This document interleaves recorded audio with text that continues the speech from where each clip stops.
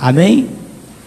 Queridos, nós queremos trazer uma palavra hoje, né, que vai falar sobre virtude.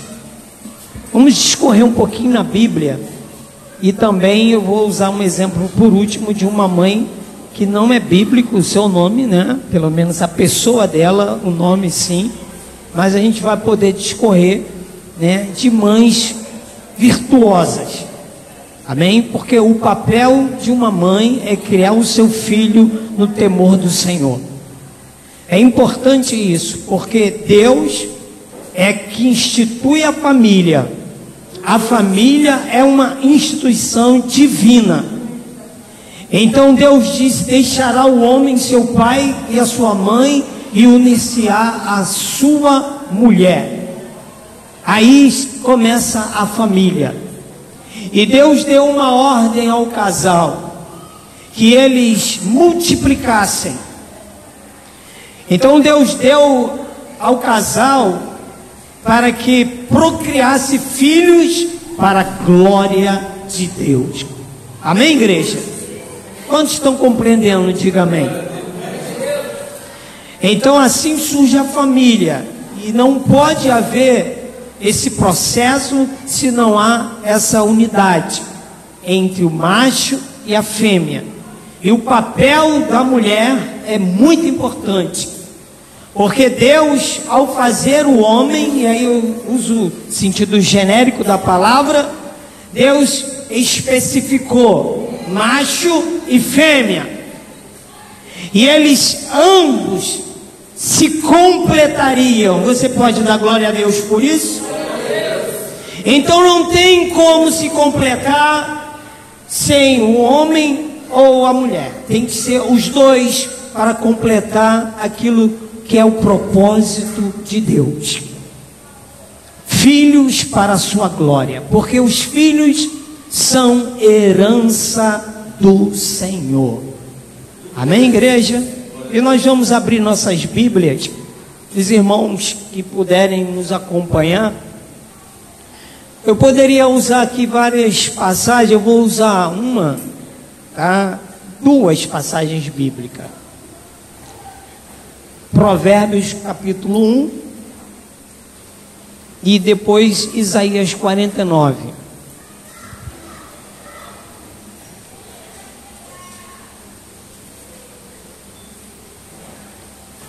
Provérbios capítulo 1, versículo 8, nós vamos usar apenas a parte B do versículo, que diz o seguinte: Aleluia. Eu vou ter que complementar com a parte A que diz: Pode ficar sentados mesmo, tá bem? Diz assim: Filho meu, aí ele direciona que ouça a instrução de seu pai. E a parte B diz: Filho meu, ouça o ensino de tua mãe, a doutrina da tua mãe. Isaías 49, nós vamos ler o versículo 15, que diz assim: Pode uma mulher esquecer-se também do filho que cria, que se não compadeça dele, do filho do seu ventre? Mas ainda que esta se esquecesse, eu todavia me não esquecerei de ti.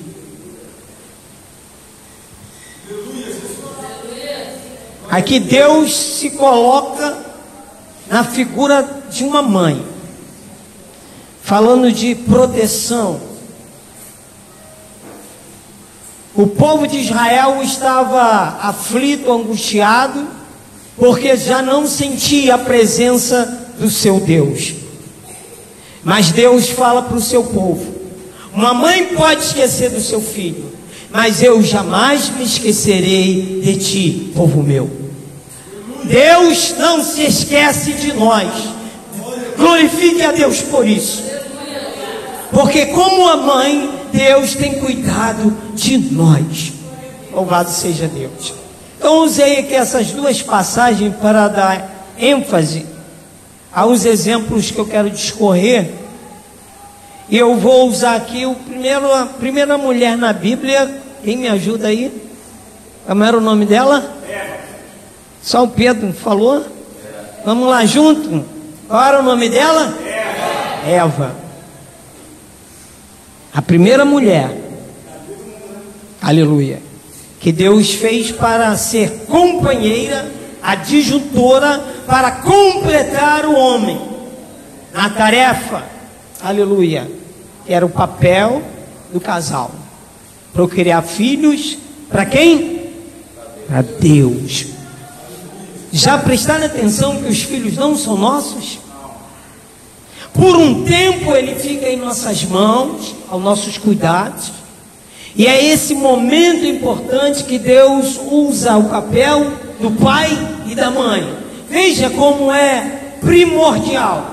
Uma família sem um pai ou sem uma mãe pode trazer sequelas para aquela criatura. Pode trazer sequelas.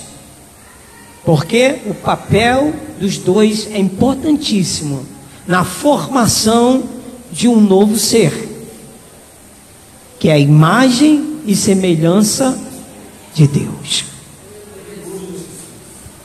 Cria o um menino no caminho em que deve andar.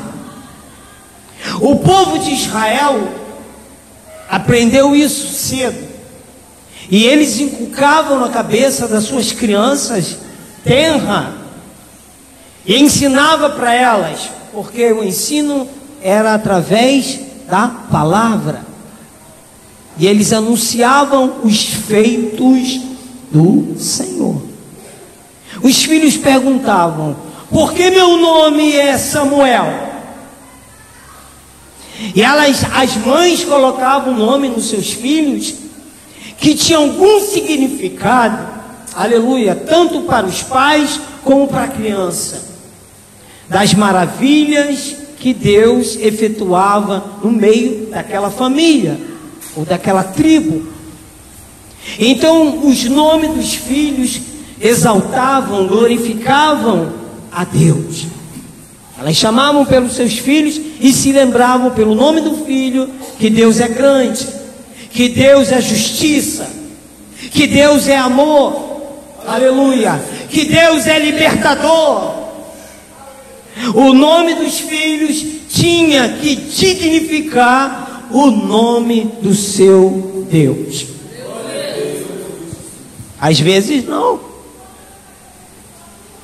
Às vezes colocava-se o nome das crianças pelos acontecimentos. E aí coisas boas não aconteciam. Mas, queridos, vamos discorrer um pouco então. Eu gostaria, Eva, o papel dela foi importante. A Bíblia diz que ela gerou filhos e filhas. Aí o termo vai para Adão, né? Quando diz Adão gerou filhos e filhas. Porque até então aí não aparece muito o papel da mulher, certo? Mas sobre as linhas, sobre as entrelinhas, a mulher tem o seu papel fundamental na palavra de Deus. E os filhos de Eva, aleluia, ouviu de seus pais a grandeza do Criador. Que Deus, toda tardinha, na viração do dia, ele visitava o homem no jardim do Éden. E agora, os filhos perguntavam: cadê Deus, mãe? Cadê Deus, pai? E Deus já não aparecia mais na viração do dia. Porque algo de ruim aconteceu. Deus ele só pode nos visitar, aleluia, de maneira a trazer para nós ensinamentos profundos, para que nós trilhamos um caminho correto. Aleluia. Quando há santidade na família, no casal, nos filhos, porque a Bíblia diz que Deus não tem prazer no pecado. Deus não comunga com o pecado. Então, para Deus visitar, tinha que haver harmonia, tinha que haver a bênção do Senhor no casal. Isso já não estava ocorrendo. Porque Adão e Eva havia pecado. E Deus agora já não descia mais para falar com o homem. Deus agora iria falar com o homem através de profecia, através de visões. Ele iria se manifestar aqui e ali de várias formas. Aleluia! Mas ele não deixou o homem por completo. Amém, igreja? Porque Deus tem ciúme, aleluia, do que ele criou. Deus tem ciúme de você. Você pode dizer amém por isso? E esse ciúme é cuidado, é zelo. Por um pouco parecia que tudo estava perdido. O homem agora estava sendo escravo do pecado.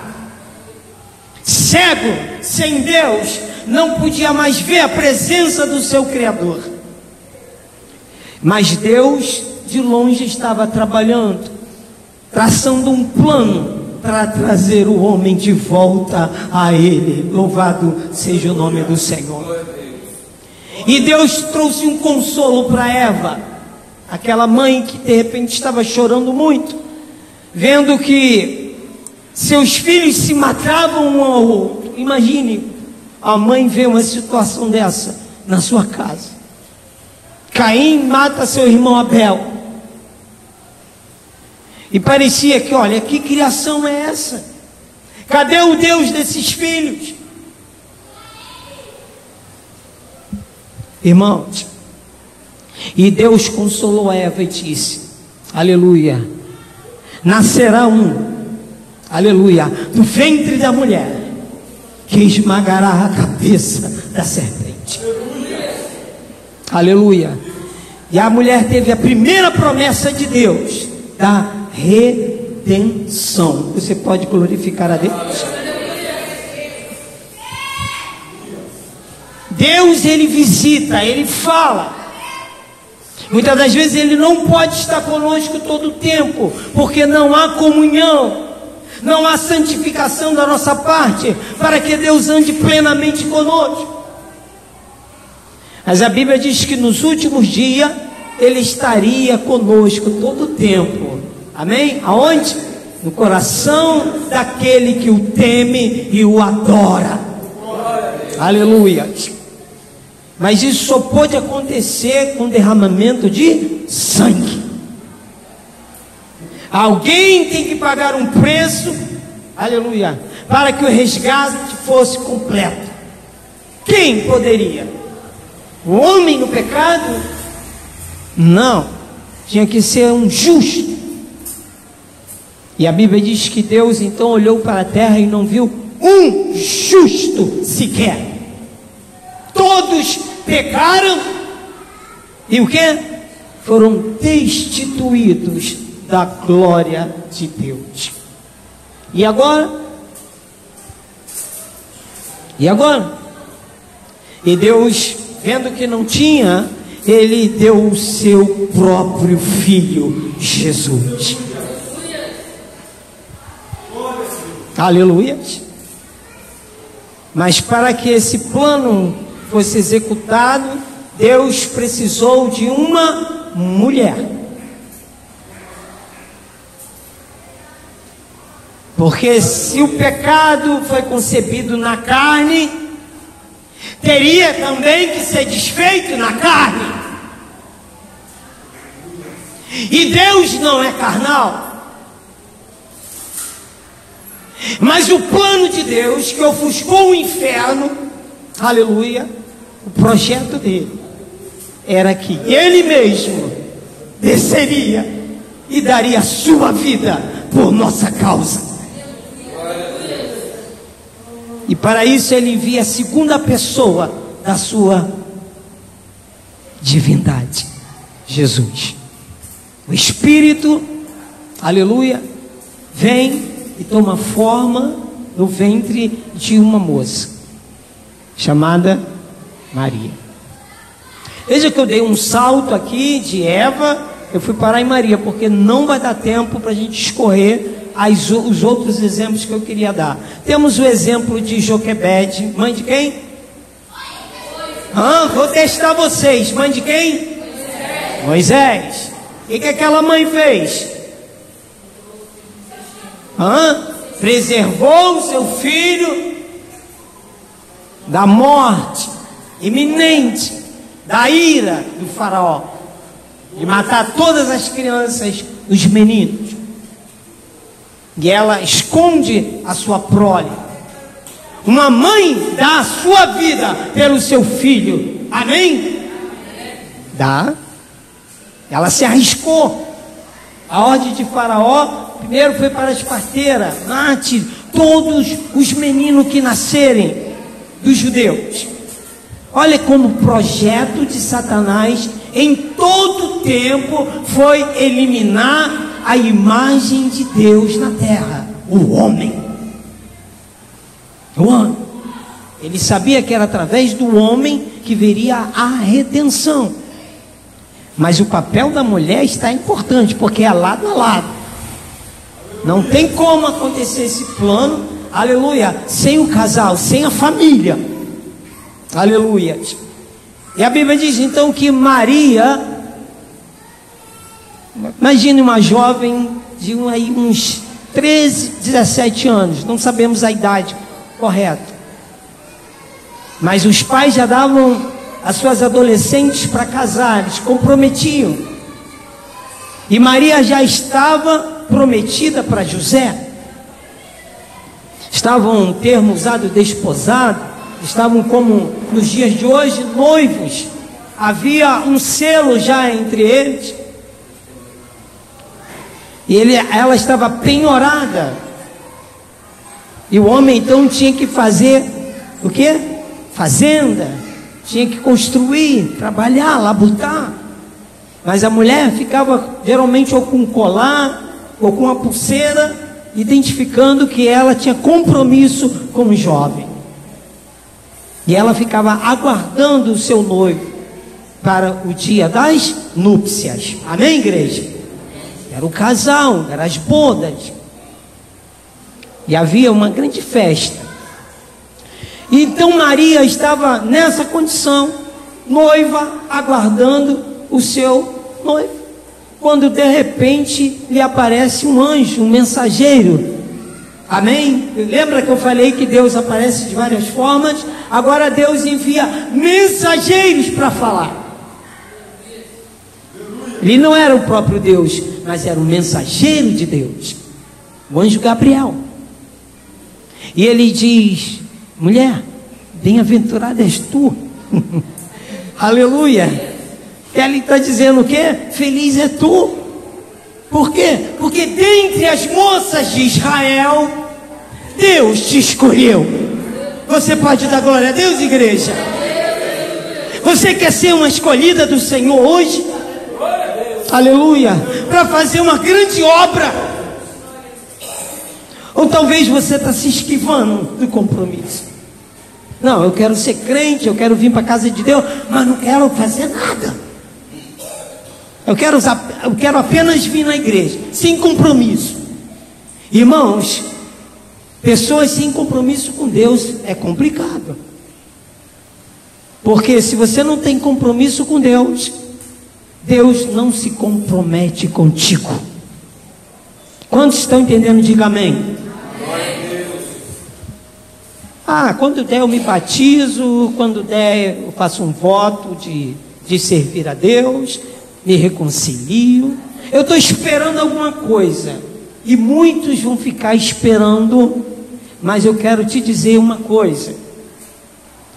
A palavra de Deus está se cumprindo nesses dias, no que tange que o Senhor vai levar a sua noiva num piscar de olhos. E esse dia pode acontecer daqui a segundos. E você corre o perigo de ficar esperando acontecer alguma coisa para você se decidir, para você ter compromisso com Deus. Cuidado. É um alerta não do pastor, mas da palavra do Deus vivo. Quando você procurar Deus, você pode não achar mais. E como isso acontece? Ou na vinda do Senhor iminente, ou você indo através do quê? A morte. Quem é que, que acha que vai ficar vivo toda a vida? Hã? Quem pode garantir se amanhã algum de nós voltaremos? Então, meus irmãos, o negócio é muito sério. E Maria, ela teve compromisso com Deus. Deus visitando Israel, Deus faz isso, irmãos. Deus, quando quer usar alguém, ele não pega qualquer coisa, qualquer um, de qualquer jeito. Não. Ele procura fiéis na face da terra que o possa adorar em espírito e em verdade. Sabe? Aí, pastor, ah, então foi, é, eu posso ser também um escolhido, porque minha mãe me apresentou no altar quando eu era bebê? Sim, pode. Papel das mães é estar sempre ocultando nos seus filhos a palavra de Deus, que é ela que produz o que? Vida eterna. É a palavra. Pela palavra Deus criou todas as coisas. E pela palavra você pode nascer de novo. Aleluia. Você pode ser gerado para a glória de Deus. Todos nós aqui, sem exceção, foi gerado. Amém? Foi preciso de um pai, de uma mãe. Ah, mas você não quer usar o termo pai? Ah, não tive pai. Mas houve o que? Uma fecundação. Houve um macho e uma fêmea para que você se reproduzisse. Você foi gerado. E a Bíblia diz que nós somos gerados criatura de Deus. Deus especifica, todas as coisas, já mostrando o que acontece na humanidade caída. Todos são criatura de Deus, gerados. É Deus que coloca a alma e o espírito em cada criatura que é sendo gerada no ventre das suas mães. Porque não está sendo gerado ali um bicho, não. Está sendo gerado um ser que será a semelhança daquele que criou todas as coisas, que terá faculdade, que terá gosto, escolhas, aleluia, será um como Deus, com Deus. Aleluia. Ou não. Infelizmente a queda produziu isso. Né? E aí hoje você tem que escolher. Antes não. Você já nascia, aleluia, debaixo dessa graça maravilhosa, dessa presença do Criador. Mas agora isso não acontece. Os filhos são gerados debaixo de pecado. Então a Bíblia diz, irmãos, que Maria se disponibilizou. Ela relutou no momento, não compreendeu. Mas como pode ser isso? Eu ainda não casei. Como que eu vou dar um filho? E o que, que o anjo disse? Será gerado pelo Espírito Santo de Deus. Essa obra, esse mistério é do próprio Criador tu conceberás um filho, e o seu nome será Emanuel. Que? Deus conosco, oh glória! Deus iria estar conosco. Aleluia. E ela ficou maravilhada com aquela mensagem. Ela diz: cumpra-se. Aqui está a tua o quê? Serva. Amém, igreja? Ali não havia nenhuma deusa, nenhuma mulher sobrenatural, não. Era uma mulher humilde, mas temente a Deus. Deus procura mulheres assim.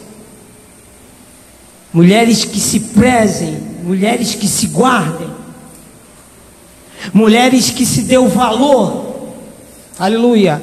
Porque fazendo assim, certamente Deus está olhando e você pode ser uma escolhida dentre as milhares para fazer uma grande obra. As outras não são, pastor? Chamadas? Sim, são. Mas o processo é outro.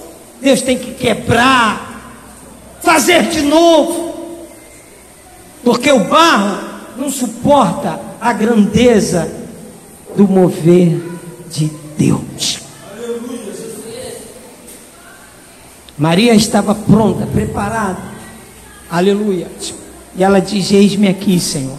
E a Bíblia diz, irmão, que então ela vai conceber um filho para glória de Deus. Então, eu usei aqui dois exemplos bíblicos e agora eu quero usar um não bíblico. Podia pegar alguns nomes de mulheres, tá? Que talvez a gente não conheça, tá? Mas é conhecido no meio evangélico, na teologia, no estudo. E eu procurei uma mulher, e o nome dela se chama Susana. Quem já ouviu falar de Susana Wesley? Ouviu falar?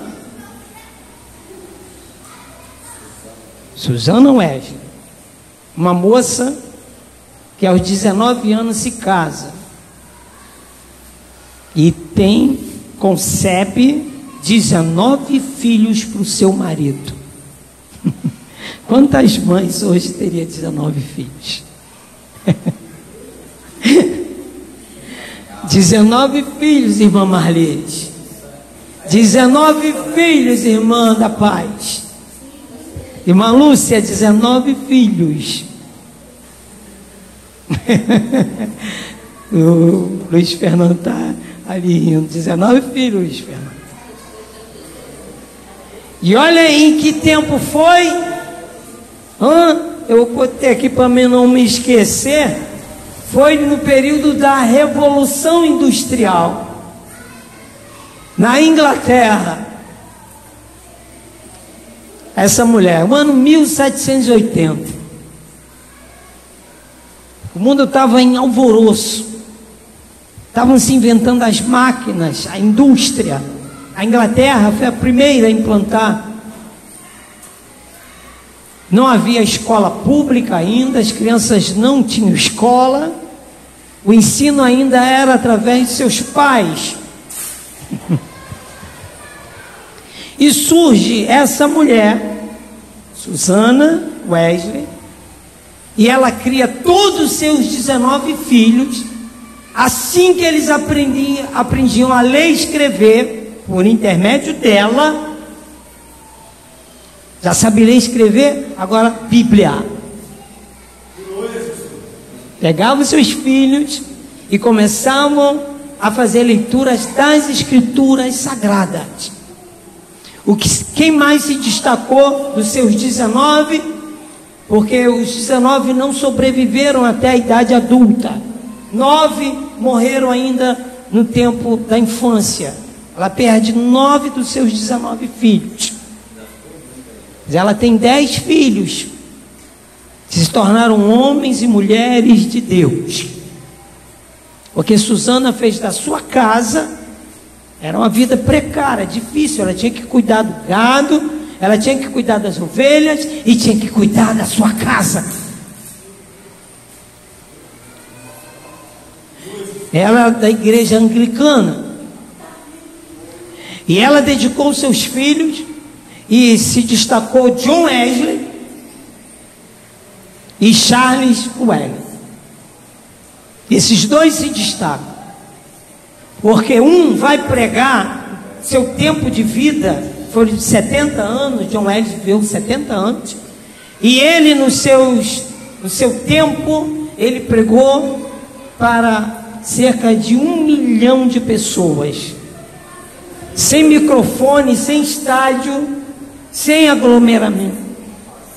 Diz que ele andou de cavalo durante seu tempo pregando o evangelho que dava a dar duas vezes a volta ao mundo de cavalo,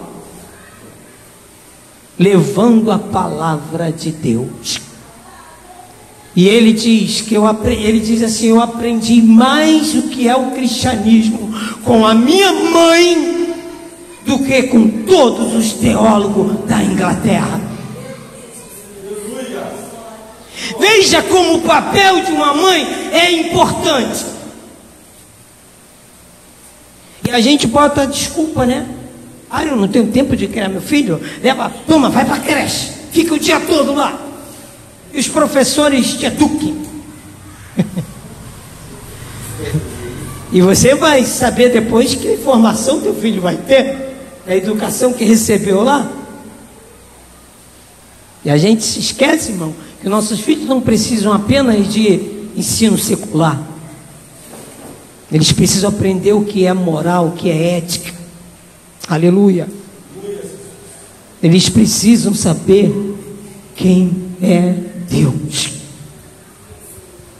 E você deixa o seu filho à mercê de qualquer um, aí, meu irmão, pode ser um Deus qualquer que vão dar para o seu filho. E por isso hoje nós temos muitos jovens sem compromisso nenhum. Pergunta alguma coisa de Deus? Não, Deus é meu dinheiro, Deus é aquilo que eu mais gosto, me satisfaz. Isso é o meu Deus. Mas nós temos um Deus que se importa conosco. Aleluia. E eu louvo a Deus por cada mãe presente aqui nessa noite. Susana Wesley teve o prazer de viver, e ela, eu usei aqui umas palavras aqui, John Wesley pregou, já falei, né, para cerca de um milhão de pessoas no seu tempo de crente, de serviço a Deus, isso desde adolescente. O seu outro irmão, Charles, não foi um pregador, mas sabe o que, que ele fez? Ele compôs nove mil louvores de hinos de adoração a Deus. Você sabe o que é isso? Nove mil. E muito deles se cantam até hoje em nossos dias. Porque todos eles falavam da grandeza do Criador.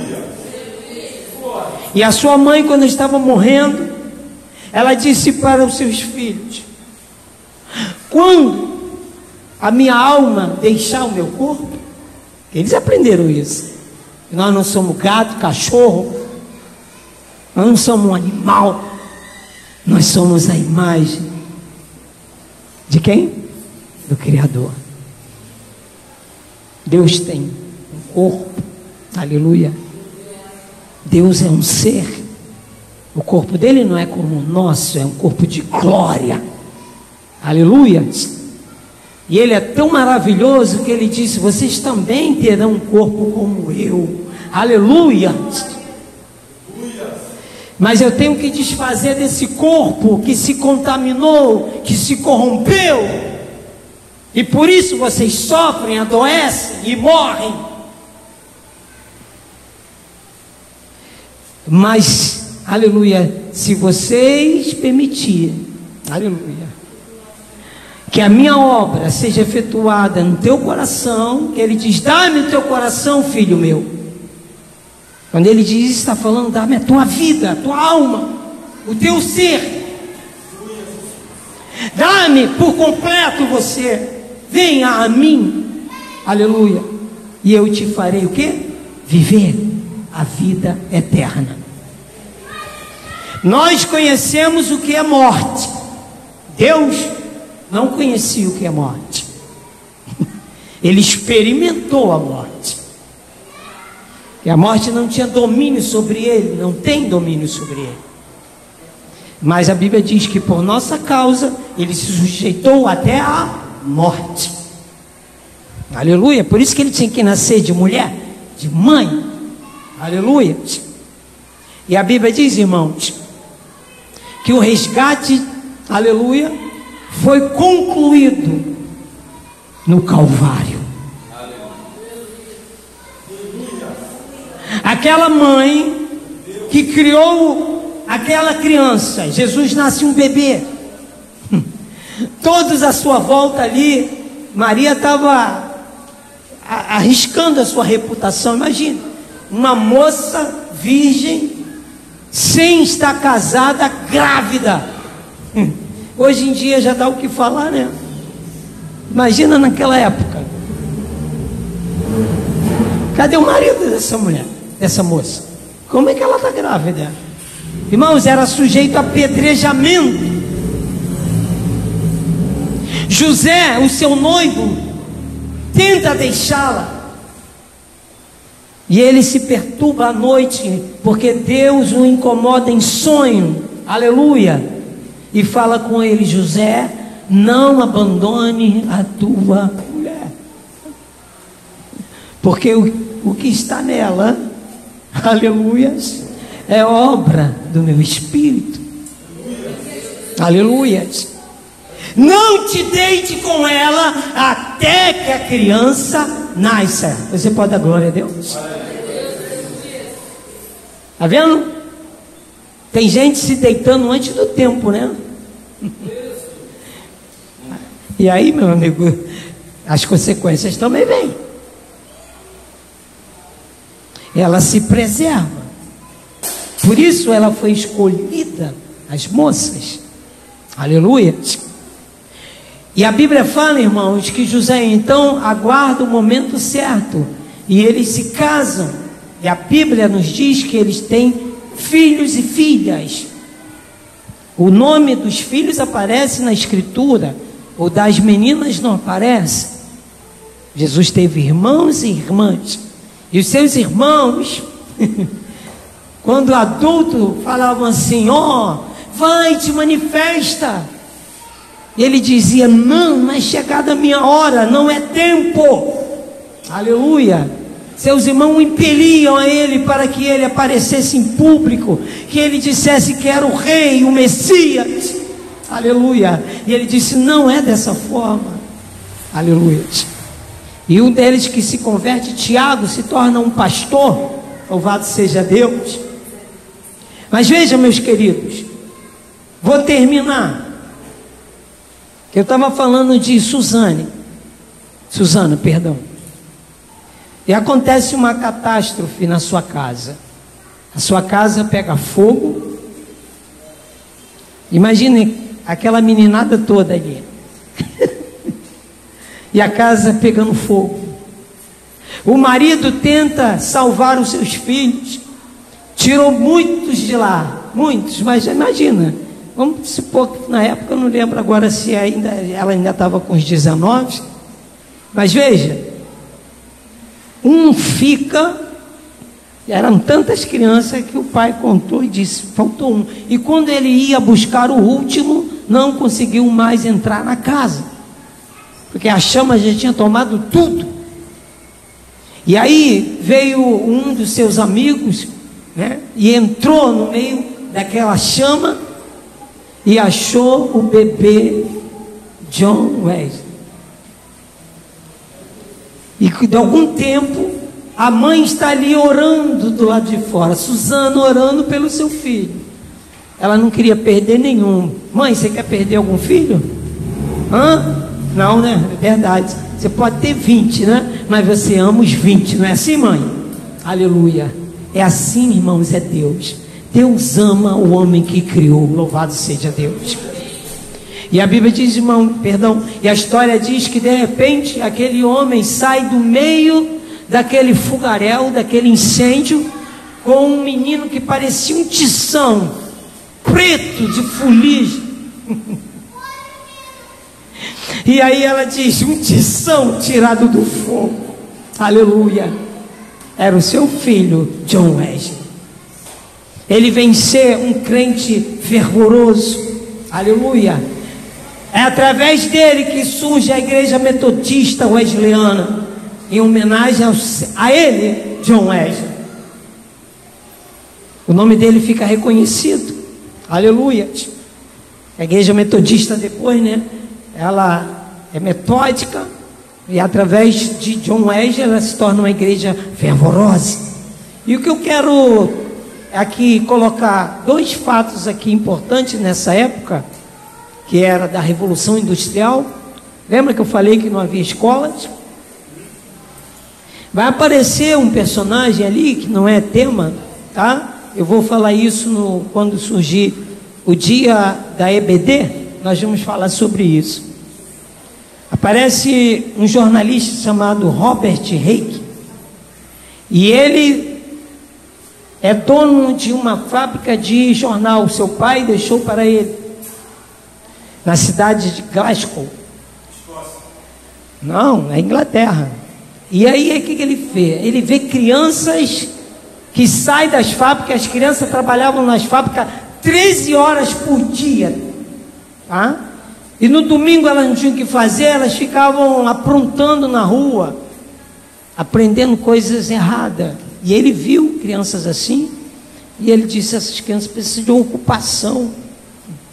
E aí ele começa, ele chama três mulheres, ele bota um anúncio no jornal e procura mulheres que possam ajudar a instruir as crianças.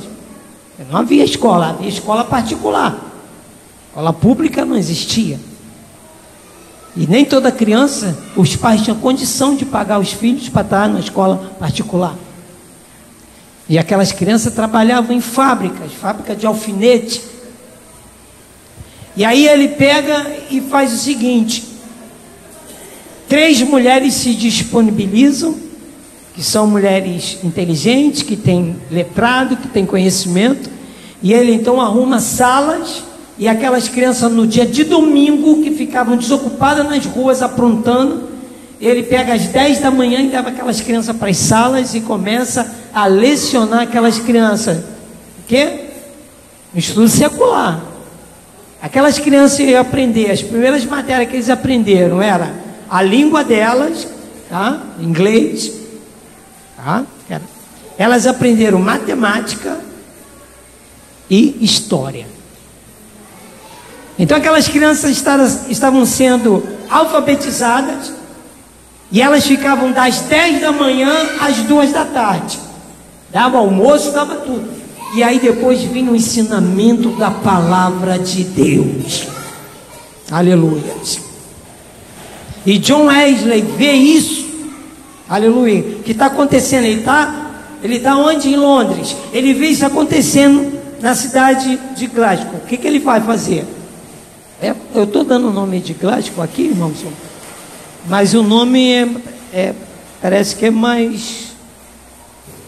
Depois eu trago para vocês na outra ocasião. É Glasgow alguma coisa.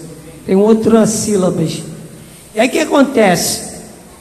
Ele se destaca e ele coloca também na igreja metodista a primeira escola dominical. Agora, as crianças podiam ir para a igreja aprender a palavra de Deus. E assim surgiu a EBD, que hoje nós conhecemos, a Escola Bíblica Dominical. Amém? Viu como é importante, aleluia, o papel das mães em criar os seus filhos no caminho do Senhor? Cuide dos seus filhos. Vamos ficar de pé nesse momento.